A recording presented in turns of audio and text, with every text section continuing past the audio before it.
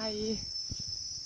I just wanted to let everybody know that, yeah, my life looks like a lot of fun, but it's fucking crazy, mental.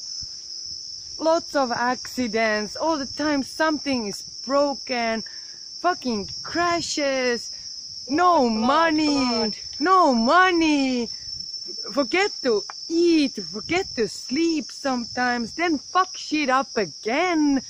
Then you have to like work for like around one, two week to fucking fix everything up again.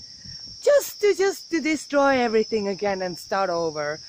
Yeah, it is fun because it's like fucking warm and sunshine and nice and beautiful nature and I'm in Thailand. But when you are hurting all the time, it's not nice. Yeah.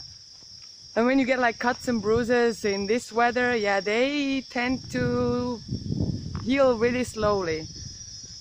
And yeah, the no plan thing, yeah, if I think if we would have a plan, it would be always also fucked. So yeah, we continue going with no plan and I don't know, begging for better life from someone. I actually think, yeah, this is just this is just life. Yeah, a little bit harder than normal though. So don't envy us. It's not easy for us. It's really, really, really fucking hard and painful. Yeah. And hello from Buffalo Bay, Koh Phayam. What you wanted to say? Yeah. Hey. Pain, pain, car. Alright, subscribe, like, share, whatever check out our fucking crazy life. Bye.